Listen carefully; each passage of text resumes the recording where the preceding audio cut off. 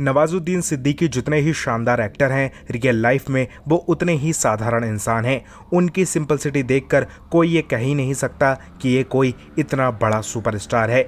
नवाज़ हमेशा लोगों के सामने बहुत ही साधारण रहते हैं और उन्हें चकाचौंध पसंद नहीं है। लेकिन हाल ही में नवाज़ ने अपने फैंस के लिए कुछ ऐसा कदम उठाया जिसे देखकर लोग उनसे और ज़्यादा प्यार करने लगे। दरअसल हाल ही में नवाज़ मुंबई में एक बर्थडे पार्टी से बाहर निकल रहे थे।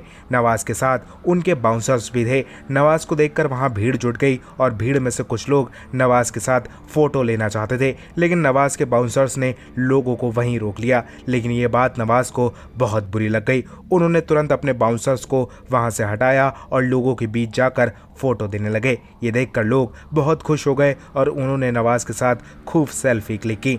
लोगों को नवाज़ का अपने फैंस के साथ ये व्यवहार देखकर बहुत अच्छा लगा। आजकल तो स्टार्स के पैर ज़मीन पर ही नहीं है। वो फैंस के साथ फ़ोटो देना तो दूर, वो फैंस को अपने आसपास तक नहीं भटकने देते। वहीं कई बार ऐसा भी देखा गया है कि स्टार्स फ़ोटो देने पर नाराज़ भी हो जाते हैं। ऐसे में नवाज़ का ये व्यवहार लोगों के दिलों को छू गया है। फ़िलहाल इस पर आप क्या कहेंगे? अपनी राय हमें कमेंट में दीजिए और ज़्यादा ऐसी अपडेट्स के लिए हमारे चैनल को सब्सक्राइब कीजिए।